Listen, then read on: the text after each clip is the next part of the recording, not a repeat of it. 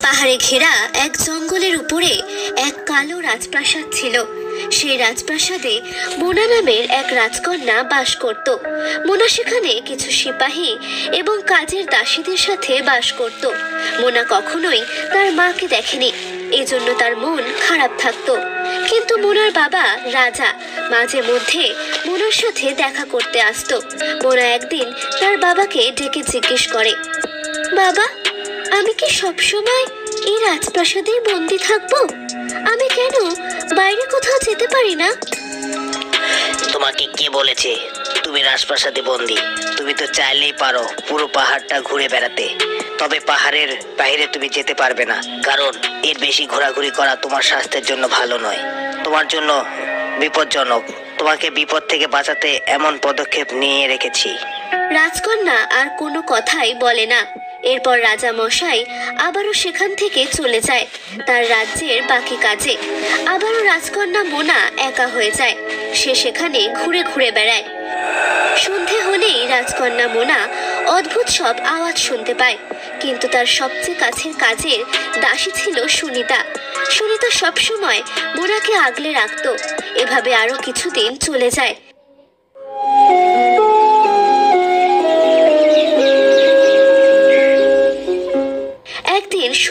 উজ্জ্বল দিনে মোনা তার কাজের দাসী সুনিতার সাথে প্রাসাদের বাইরে খেলতে বের হয়। খেলতে খেলতে সন্ধে নেমে এলে সুনিতা মোনাকে রাজপ্রাসাদে যেতে বলে। কিন্তু মোনা তখনই একটা প্রজাপতি দেখতে পায়। প্রজাপতিটা কি সুন্দর! এই প্রজাপতিকে আমার ধরতেই হবে। এরপর মোনা সেই প্রজাপতি পিছনে দৌড়াতে শুরু করে। সুনিতা ভয় পেয়ে যায়। আরে না, রাজকুমারী! সেদিকে যাবেন না। ওইদিকে বিপদ। এখনই আমাদের রাজপ্রাসাদে ফিরতে হবে। কিন্তু মোনা সুনিতার কোনো কথাই শোনে না। সে দৌড়াতে থাকে, এমন সময় সন্ধে নেমে যায়।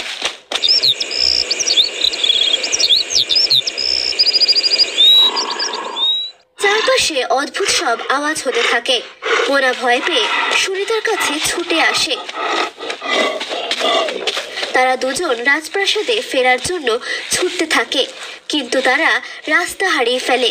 এমন সময় সুনিতা দেখতে পায় এক ভয়ঙ্কর ভূত তাদের দিকে এগিয়ে আসছে। মোনা ভয় পেয়ে যায়। আমাদের এই জঙ্গলে ভূত আছে? সেটা তো আমি জানতামই না। এই ভূত এখানে কি করে এলো? আপনি কোনো কথা বলবেন না। চলুন, আমরা এখান থেকে পালানোর রাস্তা খুঁজি। এরপর আবারও তারা দৌড়াতে থাকে। কিন্তু তারা কোনো রাস্তা খুঁজে পায় না। এমন সময় একটা বাঁশির আওয়াজ আসে। সেই বাঁশির আওয়াজ শুনে সেই ভূত তাদের পিছু ছেড়ে দেয় এবং অন্য কোথাও লুকিয়ে পড়ে। আরে, বাঁশি কে বাজাচ্ছে? এত সুন্দর বাঁশির সুর শুনে কেন ভূত পালিয়ে গেল? এমন সময় নীল নামের একটি ছেলে বাঁশি হাতে বেরিয়ে আসে। নীল রাজকুমারীকে দেখে বলে, আমি নীল, জঙ্গলের পাশে ছোট্ট একটা গ্রামে থাকি। জঙ্গলে এসেছিলাম কাঠ কাটার জন্য। এখানে প্রচুর পরিমাণ ভূতেরা রয়েছে। তবে আপনি এখানে কি করছেন?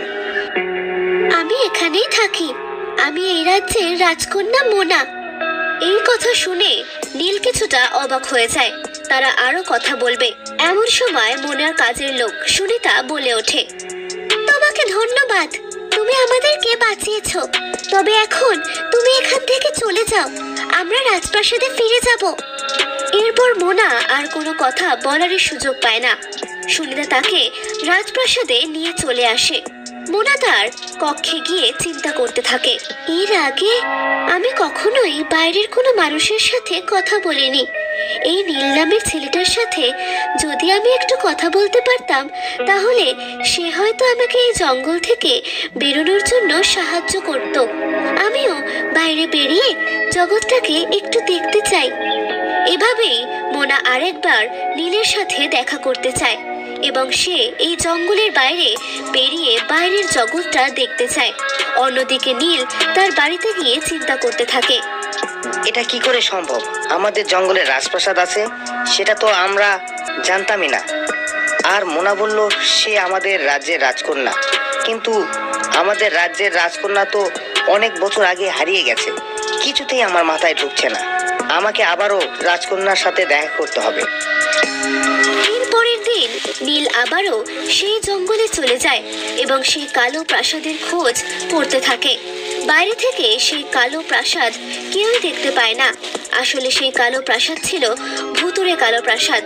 ভূতের রাজা খুব ছোটবেলায় মোনাকে আটকে রেখেছিল, কারণ মোনার যেদিন আঠারো বছর বয়স হবে, সে হবে এই পৃথিবীর সবচেয়ে শক্তিশালী নারী। আর তাকে বলিদান দিয়ে ভূত হয়ে যাবে সবচেয়ে বেশি শক্তিশালী। এজন্যই সে তাকে এই কালো প্রাসাদে লুকিয়ে রেখেছে। সেখানে কোনো মানুষের আসা যাওয়া নিষেধ এবং সে নিজে তার রূপ পরিবর্তন করে রাজার বেশে সেখানে মোনার সাথে দেখা করতে চায় এবং তাকে তার বাবার পরিচয় দেয়। নীল অনেক খোঁজাখুঁজির পরেও রাজপ্রাসাদ খুঁজে পায় না। এরপর নীল একটা গাছের নিচে বসে বাঁশি বাজাতে শুরু করে। মোনা ঘর থেকে সেই বাঁশির আওয়াজ শুনতে পায়। আরে, এটা তো সেই বাঁশির সুর। তার মানে নীল এখানেই কোথাও আছে। আমি দেখি সুনিতাকে কোনো একটা কাজের বাহানা দিয়ে বাইরে পাঠিয়ে দিই। এরপর আমি নীলকে খুঁজে বের করব। মোনা তার কাজের দাসীকে খাবার তৈরি করতে নিচে পাঠিয়ে দেয়।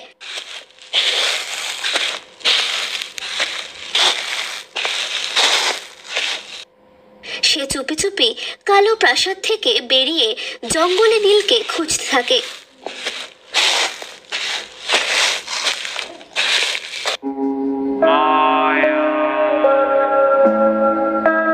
এক সময় নীলের সাথে তার দেখা হয়ে যায়। রাজকুমারী আপনার সাথে আমার কিছু জরুরি কথা আছে। সেজন্য আমি আবারও আপনার সাথে দেখা করতে এসেছি। হ্যাঁ বলো। আমার সাথে কি বলতে চাও? আমিও তোমার কাছ থেকে কিছু একটা সাহায্য চাই। আমি এই প্রাসাদের বাইরে জগৎটাকে দেখতে চাই। এরপর নীল বলতে শুরু করে। আপনি বলেছেন আপনি এই রাজ্যের রাজকন্যা। কিন্তু এখানে তো কোনো রাজপ্রাসাদই দেখতে পাচ্ছি না। আর রাজপ্রাসাদ আমাদের রাজ্যের মধ্যে, আমার মনে হয় আপনার কোথাও ভুল হচ্ছে। রাজকন্যা তো অনেক বছর আগে হারিয়ে গেছে। এজন্যই আমার মনে হয় আপনাকে কেউ এখানে মিথ্যে বলে আটকে রেখেছে। এসব কিছু শুনে মোনার কিছুই বিশ্বাস হতে চায় না। সে কি করে হয়? আমি তো কয়েকদিন পর পরই আমার বাবা রাজার সাথে দেখা করি, আর আমার বাবা এখানে আমার দেখাশোনার জন্য কিছু সিপাইও রেখে দিয়েছেন। তুমি এসব কি বলছো? কখনো কি আপনার মায়ের সাথে দেখা হয়েছে? অর্থাৎ রানী সাহেবের সাথে? না আমার মা তো মারা গেছে।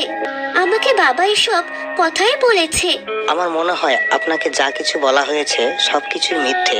আপনি আমার সাথে চলুন আমি আপনাকে রাজপ্রাসাদে ফিরিয়ে দিচ্ছি। সেখানে গেলেই আপনি আপনার আসল বাবা মাকে দেখতে পাবেন। আমি এই রাজপ্রাসাদ ছেড়ে যেতে পারব না। তুমি বরং আমার আসল বাবা মাকে আমার এখানে থাকার খবরটা দাও। তারা যেন আমাকে এখান থেকে নিয়ে যায়। ঠিক আছে আপনি চিন্তা করবেন না। এরপর নীল রাজ্যে ফিরে আসে। রাজ্যে ফিরে এসে সে রাজামশাই এবং রানীকে সব কিছু খুলে বলে। রাজা এবং রানী এত বছর পর তাদের মেয়ের খবর পেয়ে খুব খুশি হয়। তারা সিপাহী নিয়ে সেই জঙ্গল ঘিরে ফেলে এবং অবশেষে তারা রাজকন্যা মোনাকে খুঁজে পায়। মোনা তার সামনে তার আসল বাবাকে দেখে অবাক হয়ে যায়। এমন সময় তার নকল বাবা ভূত